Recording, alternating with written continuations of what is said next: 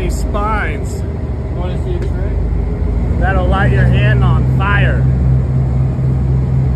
What are you doing? Put it this way. What are it. you doing? Hold it.